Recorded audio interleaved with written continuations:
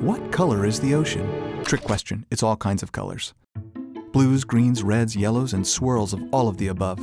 And these colors can tell us a lot about what's going on just beneath the surface, what's thriving, or changing, or could pose a threat. For over 20 years, NASA has been looking at the color of the ocean with technology that's, well, over 20 years old. And that has told us a lot about the health of ocean ecosystems, but there are details we just can't see. Enter PACE, the Plankton Aerosol Cloud Ocean Ecosystem Mission. PACE's new instruments will look at our world's oceans, lakes, and rivers in an entire rainbow's worth of color and beyond, giving us new insights into marine communities, the carbon cycle, and climate studies. So let's take a look at the top five official best ever ocean colors of all time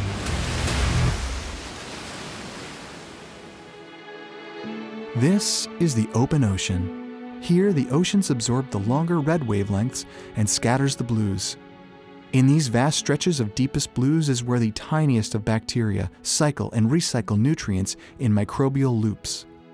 For example, the tiniest and most abundant photosynthetic organism, Prochlorococcus, converts carbon dioxide into organic compounds and forms the base of the marine food web. These phytoplankton are eaten by tiny zooplankton and then eaten by larger zooplankton, then smaller fish, and so on.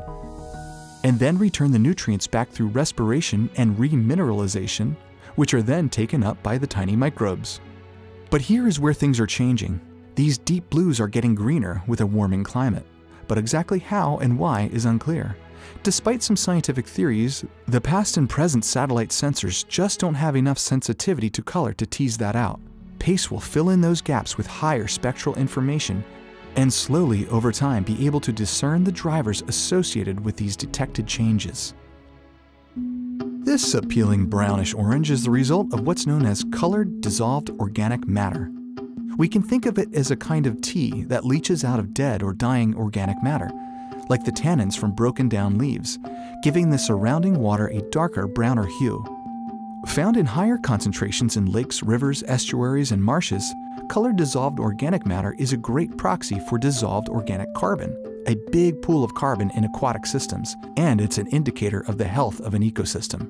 Much like a cloudy cup of tea, higher levels of this organic matter don't let as much light through, changing the availability of light for plant-like organisms in the environment. With PACE's ocean color instruments hyperspectral measurements, even into the ultraviolet wavelengths, we'll be able to differentiate sources of this organic matter and better understand the transfer of carbon across land and into coastal regions. A grayish green in a large lake like this could spell potential harm from a bloom of blue-green algae known as cyanobacteria. Depending on the type and abundance, cyanobacteria can spread toxins to aquatic and human life. In 2019, Lake Erie saw a bloom of the Microcystis cyanobacteria form a thick layer of scum filled with a toxin, which posed a major risk to drinkable water. The microcystin toxin can cause liver damage, dizziness, numbness, and vomiting. Researchers are eager to use the hyperspectral information from PACE in order to detect early stages of harmful algal blooms like the ones in Lake Erie. PACE will be able to measure the unique optical properties of cyanobacteria, which will help separate the harmful algae from other phytoplankton present in the water and allow resource managers to monitor the health of fresh water. This turquoise stretch tells us a lot about the sediment churning in the water, and both the quality and quantity of that sediment can have big impacts on marine life. For example, in Greenland, glaciers can bulldoze over surface rocks, grinding them into a fine powder of silt and clay known as glacial flour. The glacial flour changes the appearance of the water, with the particles absorbing the shorter wavelengths, purples and indigos, and the water absorbing the longer wavelengths, the reds and oranges. This sediment can bring nutrients and fuel algal blooms. But if you're an oyster, sediments could be a big problem.